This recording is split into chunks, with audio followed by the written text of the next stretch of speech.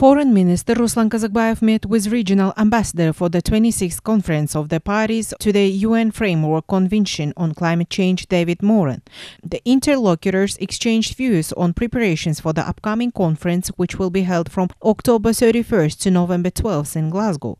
Moran provided information up to date on the program of the summit of world leaders and on certain organizational and logistical issues. Kazakbayev informed about the importance of combating climate change change for the Republic.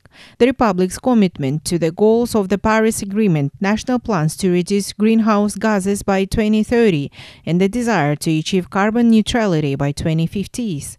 He said that the Kyrgyz Republic, being a landlocked mountainous country vulnerable to climate change and taking into account the importance of the upcoming conference, plans to participate in the Global Climate Conference at the level of the head of state.